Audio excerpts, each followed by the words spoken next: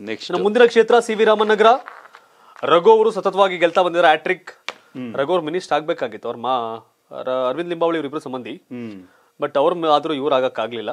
ಅವ್ರು ಕೊಟ್ರು ಅಂತ ಇವ್ರು ಕೊಡ್ತಾ ಇರ್ಲಿಲ್ಲ. ರಘು ಅವರು ಮುಂದೆ ಬಿಜೆಪಿ ಕ್ಯಾಂಡಿಡೇಟ್ ಬಹುತೇಕ ಫಿಕ್ಸ್ ಅಂಡ್ ಸಂಪತ್ ರಾಜ್ ಅವ್ರೇನು ಪುಲ್ಕೇಶ್ ನಗರಕ್ಕೆ ಹೋಗಿದಿರಲ್ಲ ಅವರೇ ಇಲ್ಲಿ ಮತ್ತೆ ಸರ್ ಅವ್ರಿಗೆ ಆಗ್ಬಹುದು ಅನ್ನೋ ಚರ್ಚೆ ಇದೆ. ಎ ಪಿ ಇಂದ ಬೆಂಗಳೂರು ನಗರಾಧ್ಯಕ್ಷ ಮೋಹನ್ ದಾಸರಿ ಮೋಹನ್ ದಾಸರಿ ಕೂಡ ಓಡಾಡ್ತಿದ್ದಾರೆ ಇಲ್ಲಿ BJP versus Aam Aadmi party AP ಆಗ್ಬೋದು ಇಲ್ಲೂ ಕೂಡ. ಇಲ್ಲೂ ಫೈಟ್ ಯಾಕಂದ್ರೆ ಸಂಪತ್ ರಾಜ್ ಆ ಕೂಡ ಆಡ್ತಿಲ್ಲ ಓಡಾಡ್ತಾ ಇಲ್ಲ ಮತ್ತೆ ಆಮೇಲೆ ಸ್ವಲ್ಪ ಸೋತ್ ಮೇಲೂ ಕೂಡ ಸ್ವಲ್ಪ ಹೊರ ತಗೊಂಡಿರೋ ಮೋಹನ್ ದಾಸ್ರಿ ಬಟ್ ಇಂಪ್ಯಾಕ್ಟ್ ಈಗ. ಯಾವಾಗ ಡೆಲ್ಲಿ ಮತ್ತೆ ಗೆದ್ರು ಯಾವಾಗ ಪಂಜಾಬ್ ಗೆದ್ರು ಯಾವಾಗ ಗುಜರಾತ್ ಅಲ್ಲಿ ಸೌಂಡ್ ಮಾಡಿದ್ರು. ಸೊ ಇಲ್ಲೂ ಕೂಡ ಬ್ಯಾಂಗ್ಳೂರ್ ಸೌಂಡ್ ಆಗ್ತದೆ.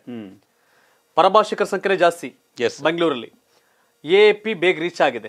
ಜೆ ಡಿ ಎಸ್ ಗಿಂತ ಜಾಸ್ತಿ ಒಂದು ಸ್ವಲ್ಪ ಆಪ್ ಕಡೆ ಒಲವು ನಗರ ಪ್ರದೇಶ ಬೆಂಗಳೂರಲ್ಲಿ ಎಸ್ಪೆಷಲಿ ಬೇರೆ ಭಾಷಿಕರಿಗೆ ಬೆಂಗಳೂರಲ್ಲಿ ಸೊ ಇಲ್ಲೂ ಅಷ್ಟೇ ಸಿ ವಿ ರಾಮನಗರದಲ್ಲಿ ಬಿಜೆಪಿಯ ರಘು ವರ್ಸಸ್ ಎ ಪಿಯ ಮೋಹನ್ ದಾಸ್ ನಡುವೆ ಫೈಟ್ ಇಲ್ಲಿ ಬಿಜೆಪಿ ಸದ್ಯಕ್ಕೆ ಮುನ್ನಡೆಯನ್ನ ಕಾಯ್ದುಕೊಂಡಿದೆ. ಕೇಜ್ರಿವಾಲ್ ಬಂದು ಒಂದು ಗುಜರಾತ್ ತರ ರ್ಯಾಲಿ ಮಾಡ್ಕೊಂಡು ನಿಂತ್ಕೊಂಡ್ರೆ ಬೆಂಗಳೂರಲ್ಲಿ ಒಂದಷ್ಟು ಟ್ರೆಂಡ್ ಸೆಟ್ ಆಗ್ಬಹುದು ಎಲ್ಲಾ ಕ್ಷೇತ್ರದಲ್ಲೂ ಎ ಪಿ ಸ್ವಲ್ಪ ಮುನ್ನಡೆಗೆ ಟ್ರೆಂಡ್ ಸೆಟ್. ಆಗ್ಬಹುದು ಏನ್ ಎಲ್ಲ ಸಾಧ್ಯ ಇಲ್ಲಿ.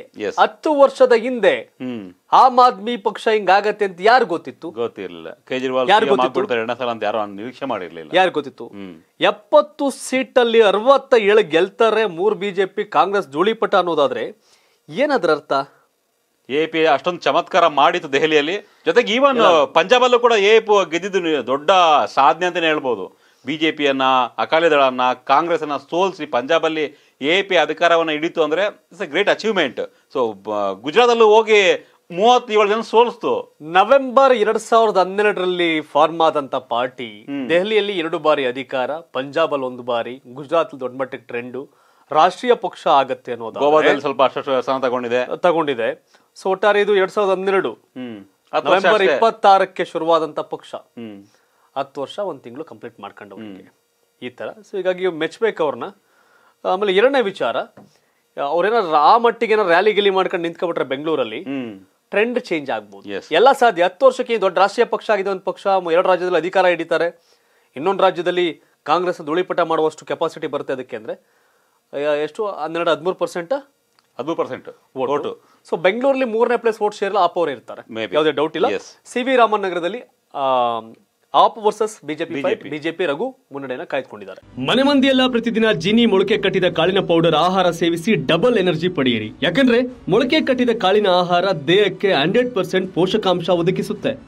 ಆರು ತಿಂಗಳ ನಂತರ ಮಕ್ಕಳಿಗೆ ಯಾವ ಆಹಾರ ಕೊಡಬೇಕು ಅಂತ ತುಂಬಾ ಯೋಚನೆ ಮಾಡ್ತಿದ್ದೀರಾ? ಹಾಗಾದ್ರೆ ಮಕ್ಕಳಿಗೆ ಮೊಳಕೆ ಕಟ್ಟಿದ ಧಾನ್ಯದಿಂದ ತಯಾರಾದ ಸರಿ ಹಿಟ್ಟು ಕೊಟ್ರೆ ನಿಮ್ಮ ಮಕ್ಕಳು ದಷ್ಟಪುಷ್ಟವಾಗಿ ಬೆಳಿತಾರೆ ಆರೋಗ್ಯವಾಗಿರ್ತಾರೆ ಸದಾ ನಗನಾಗ್ತಾ ನೆಮ್ಮದಿಯಾಗಿ ನಿದ್ದೆ ಮಾಡ್ತಾರೆ. ತಾಯಿ ಎದೆ ಹಾಲಿನ ಜೊತೆ ನಮ್ಮ ಜೀನಿ ಮೊಳಕೆ ಕಟ್ಟಿದ ಸರಿ ಇಟ್ಕೊಡಿ.